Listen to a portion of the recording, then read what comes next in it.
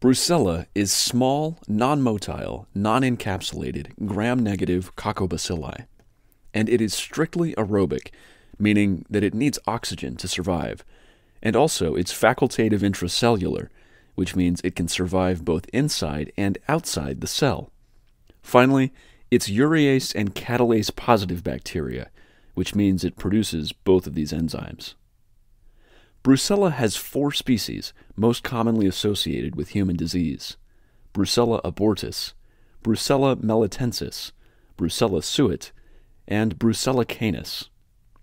Now, Brucella can enter the body one of two ways. First, there may be direct contact with infected animals, and the host is different for each Brucella species. So, Brucella abortus is transmitted by cattle. Brucella melitensis is transmitted by small ruminants such as goats and sheep. Brucella canis is transmitted by dogs, and Brucella suis is transmitted by swine and rodents. In this case, the bacteria enters through skin lesions, mucous membranes, and inhalation. The second way is ingestion of contaminated animal products, such as unpasteurized milk, cheese, and undercooked meat. After the initial exposure, the organisms are phagocytosed by macrophages and monocytes. Normally, phagocytes destroy invading bacteria by wrapping them up in vesicles called phagosomes, which will merge with lysosomes to form a phagolysosome. Lysosomes are round vesicles that contain hydrolytic enzymes, which are released inside the phagolysosome to destroy the invading bacteria. However, Brucella has a few virulence factors that it uses to avoid destruction. First, it has the ability to escape the immune recognition by using type 4 secretion system, which is a collection of proteins that can dampen the immune response. However, some of them are not able to escape and are caught by macrophages and ingested. Inside the macrophage, Brucella uses another virulence factor on its outer membrane called non endotoxic lipopolysaccharide, or LPS for short. LPS inhibits the fusion between the phagosome and the lysosome and allows Brucella to avoid intracellular death.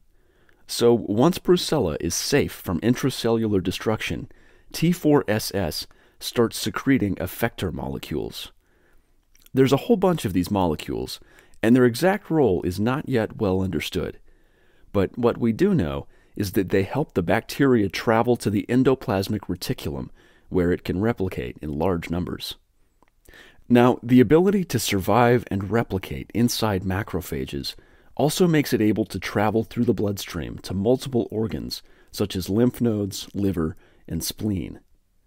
Additionally, when the macrophage becomes too small for the growing number of brucellae, it bursts, releasing the bacteria into the bloodstream.